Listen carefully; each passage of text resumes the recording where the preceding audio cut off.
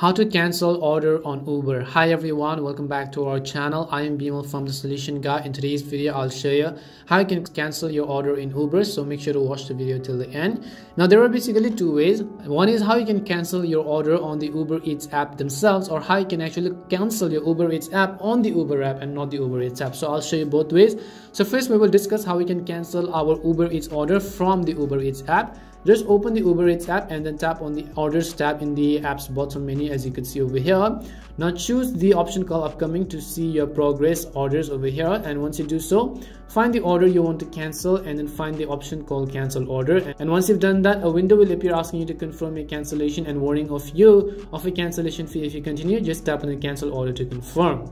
Now that is basically how you can cancel order from the uber eats app. Now if you want to cancel your uber eats order on the uber app not the uber eats app then you have to open the uber app first and select the option called order food. Once you tap on order food just tap on the profile icon on the top right corner. And as you've done so select the option called orders over here. Once you tap on the orders option your most recent order should appear first. Just select the option that says cancel order at the bottom.